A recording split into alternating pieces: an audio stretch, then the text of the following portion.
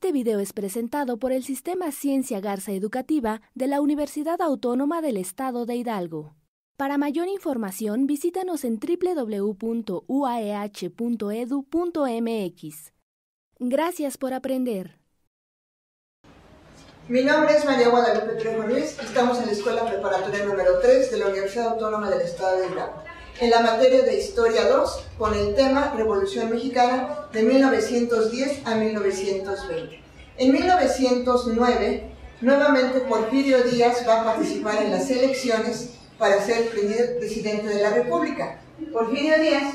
Soy el general Porfirio Díaz Mori, Duré 33 años en el poder. Durante mi gobierno introducí el ferrocarril a México, así como le entrada a empresas extranjeras.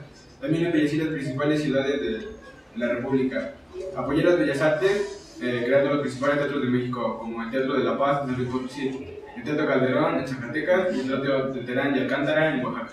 Durante el gobierno de Porfirio Díaz también se dieron muchas reelecciones, ocho reelecciones, las cuales el pueblo estaba cansado de tantas reelecciones se prohibía la libertad de expresión, había una marcada división de clases sociales y una explotación obrera y campesina. Cuando se reelige Porfirio Díaz nuevamente en 1910, Francisco y Madero va a elaborar un plan que es el Plan de San Luis.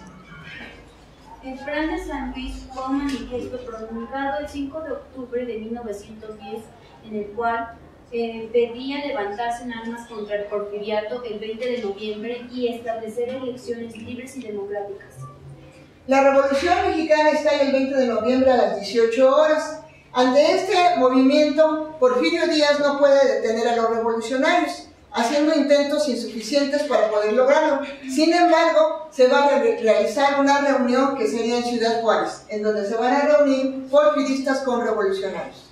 Los tratados de Ciudad Juárez son un acuerdo de paz firmado el 21 de mayo de 1911 entre el presidente Porfirio Díaz y el revolucionario Francisco Madero este acuerdo pone fin a los combates entre las fuerzas que apoyan a Madero y las que apoyan a Díaz, y con esto concluye la fase inicial de la Revolución Mexicana.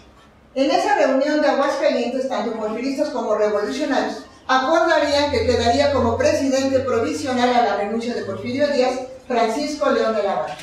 Soy Francisco León de la Barra, obtuve el poder total del país el 25 de mayo, se me conoció como el presidente blanco, prometí respetar el término de la no reelección y obtuve el partido del trabajo. Bueno, yo y yo el 6 de noviembre le di el, cargo a Francisco y Madero.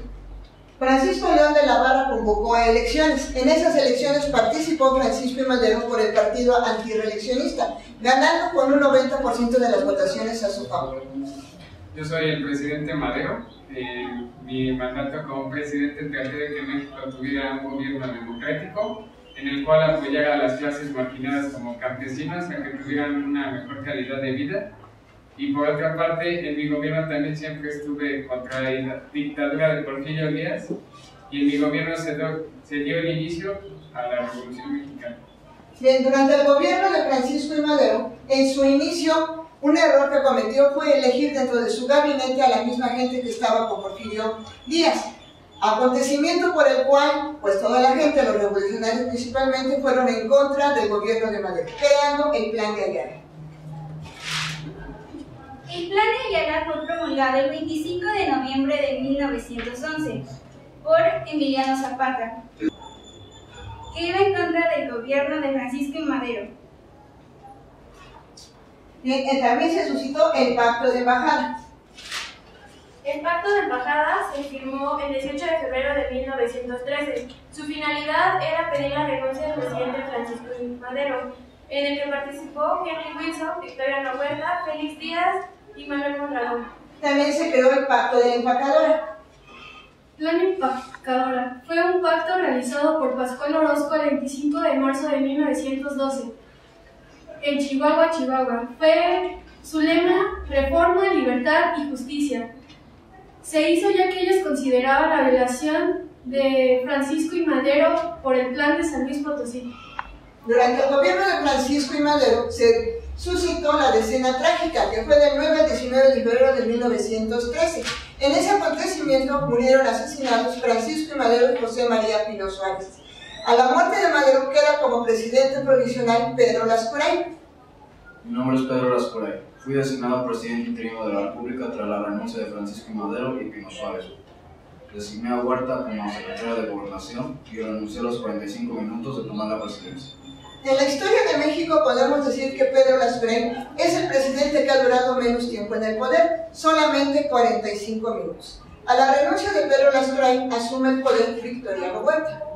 Mi nombre completo es Victoriano Huerta. En mi periodo presidencial fue de 1913 a 1915. Fue catalogado como dictadura militar, ya que se tomaron ciertas medidas de represalia contra dirigentes que se burlaban de mi forma de gobernar.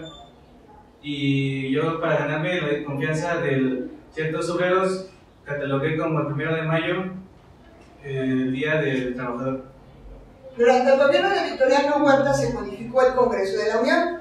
El diputado Belisario Domínguez, cuando habla mal del presidente Victoriano Huerta por considerarlo traidor, le manda cortar la, la lengua en la plaza pública para que sirviera de escarmiento a los demás eh, diputados y senadores. Y por tal motivo renuncian todos los diputados y senadores y cambia el Congreso de la Unión. Durante su gobierno se va a gestionar también el Plan de Guadalupe. Plan de Guadalupe. Fue proclamado el 26 de marzo de 1913 por Venustiano Carranza. En él se desconocía al general Victoriano Huerta como presidente de la República, también a los poderes legislativo y judicial de la Federación y a los gobiernos de los estados que aún reconocieran los poderes federales. Durante el gobierno de Victoriano Huerta se formó el Ejército Constitucionalista. El Ejército Constitucionalista conformado por el primer jefe del ejército que fue Venustiano Carranza. A este ejército se le va a unir Emiliano Zapata y Francisco Villa. Conjuntos van a convocar a una reunión que va a ser en Aguascalientes. Fue convocada el 1 de octubre de 1914 por Venustiano Carranza. Sus primeras sesiones fueron celebradas en la Cámara de Diputados del Estado de México. Después fueron movidas a Aguascalientes y ahí tiene su nombre. Fue un intento de conciliar las diferencias que existieron entre los cuatro grandes hombres que ayudaron al derrocamiento de Victoriano Huerta. La convención estuvo denominada por villistas y el 20 de octubre y el 26 de octubre llegaron los zapatistas.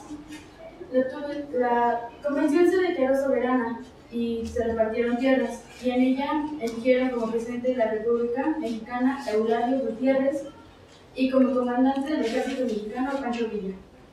Después de la convención en Aguascalientes, habían acordado que a la renuncia de Victoriano Huerta quedaría como presidente provisional Eulalio Gutiérrez. Cuando Victoriano Huerta decide renunciar, se va del país y deja de encargado a Francisco Carvajal. Francisco Carvajal deberá entregar el gobierno a Eulalio Gutiérrez. Francisco Carvajal. Mi nombre es Francisco Sebastián Carvajal, igual. Fui ministro de la Suprema Corte de Justicia y secretario de Relaciones Exteriores. Fue gracias a esto que tras la renuncia de Huerta fui seleccionado como presidente interino de México y mi presidencia duró del 15 de julio al 13 de agosto de 1914. Una vez que llega el ejército constitucionalista a la Ciudad de México, Francisco Carvajal le entrega el gobierno a Eulalio Gutiérrez. Yo soy Eulalio Gutiérrez Ortiz, fui general con carácter provisional durante la Convención de Aguascalientes. Mi periodo presidencial es, de, es del 6 de noviembre de 1914 al 16 de enero de 1915. A la renuncia de Eulalio Gutiérrez asume el poder Roque González. Soy el general Roque González Garza. Lo, estuve del 10 de enero de 1915 al 16 de junio de ese mismo año. A la renuncia de Roque González asume el poder Francisco Lagos. Mi nombre es Francisco Jerónimo de Jesús Lagos Cházaro y Morteo.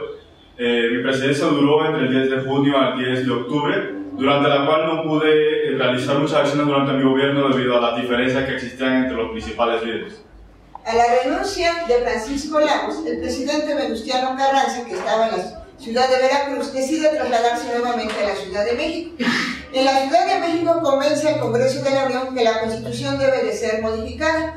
Los congresistas se reúnen en la ciudad de Querétaro para poder modificar la Constitución y se van a modificar artículos. El artículo 27 que determinaba que la propiedad de tierras y aguas correspondía a la nación y el interés público estaba por encima de la propiedad privada. En el artículo 123, que se fijaba en 8 horas la jornada máxima de trabajo y regulaba el descanso semanal. Marcaba un límite para los trabajadores jóvenes de 12 y 16 años y quedaba prohibido el trabajo de los niños. Y también se modificó el artículo tercero que decretaba la educación laica, gratuita y obligatoria. También se modificaron artículos como el 82, el 84 y el 130, donde estaba establecido precisamente la no reelección para los presidentes, desaparecía la figura del vicepresidente, se quitaba la pena de muerte y también la separación de la iglesia con el Estado. Una vez que el Congreso promulga la Constitución el 5 de febrero de 1917, el mismo Congreso convoca elecciones y las elecciones para poder participar nuevamente para presidente. Participa Venustiano Carranza por el Partido Constitucionalista y gana las elecciones. Yo soy el presidente Venustiano Carranza Garza. Asumí la presidencia el 1 de mayo de 1917. Durante mi gobierno proclamé la Constitución de 1917, en el cual uno de mis puntos era darle muchísimo más poder al Poder Judicial. También llegué a un acuerdo con la Casa del Obrero Mundial para poderle dar una mejor calidad de vida y una mejor condición de trabajo. Durante su gobierno de Venustiano Carranza también hubo problemas con Álvaro Obregón, Plutarco Elías Calles y Adolfo de la Huerta, quienes elaboraron un plan. El Plan de Agua Prieta una proclama emitida el 23 de abril de 1920 por Plutarco Elías Calles y Adolfo de la Huerta, en el cual se desconoce a Venustiano Carranza como presidente. Bien, cuando se le presenta este plan de agua a Venustiano Carranza, él no quiere renunciar a la presidencia y decide trasladar los poderes nuevamente a Veracruz. Cuando va rumbo a Veracruz, en Tlaxcalatongo, Puebla, les agarra la noche, una noche tormentosa, y decide resguardarse en unas cabañas. Y el 25 de mayo de 1920 muere asesinado.